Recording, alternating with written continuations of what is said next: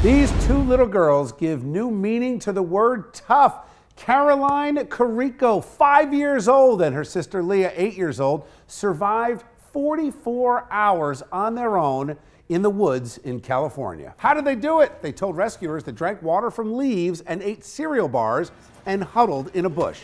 Also, it turns out they were trained by 4 H for outdoor survival. Officials say they're looking into whether or not that played a part. So, how do you teach your kids how to survive something like this? Let's bring in an expert. He is a survival instructor. His name is Thomas Coyne. He joins me now. Thomas, welcome to Chasing News. How are you? Great. Thanks for having me. And this is definitely a wonderful story. Unbelievable story. Now, Thomas, you are a survival instructor. You're in Northern California. Tell me a little bit about the terrain. What were these two kids up against? So, the thing about the terrain in that country is it's fairly isolated, well over a mile from their house, completely with no sense of direction, completely lost because the forest is dense. It could be very steep there, and it just goes on for miles and miles without any people around. It's a very remote setting, and it's it's awesome that they were found as quickly as they were. So, give me some tips for some parents in our area if their kids are lost in the woods. I mean, staying put, that sounds like good advice for anybody who's lost.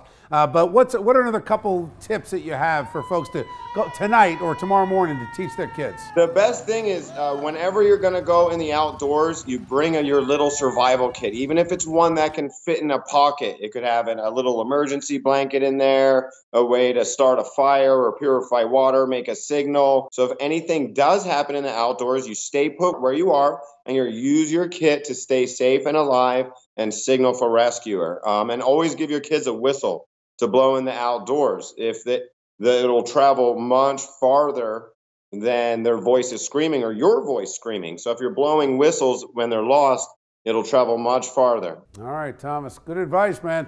Thank you for joining me. Appreciate it. Let's bring in our A plus panel. Both parents, Allison Young and Peter Brown. Peter, I'll start with you. Five and eight years old. I think there are a lot of adults that couldn't survive that.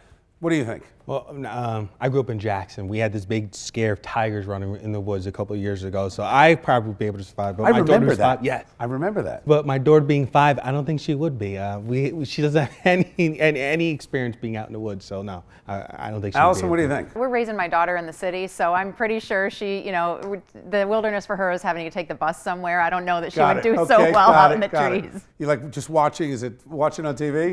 yeah. But does it make you think? I mean, I, you know, we, the joke around my house is we had a prepper Christmas one year where I made sure that each of our cars had water that could last, you know, 10 years shelf life, protein bars, because I've heard the stories of people getting stuck in their car. I've got a fire extinguisher, I've got something to break the glass, cut the seatbelt. I'm ready to go. I, I think we've come to, to, a point in society that we're so reliable in technology and other things of nature that when it comes to truly surviving without these devices, you know, um, we, are lost. Yeah, and you just assume none of this is ever so going wait, to happen to you, right? So, uh, no change?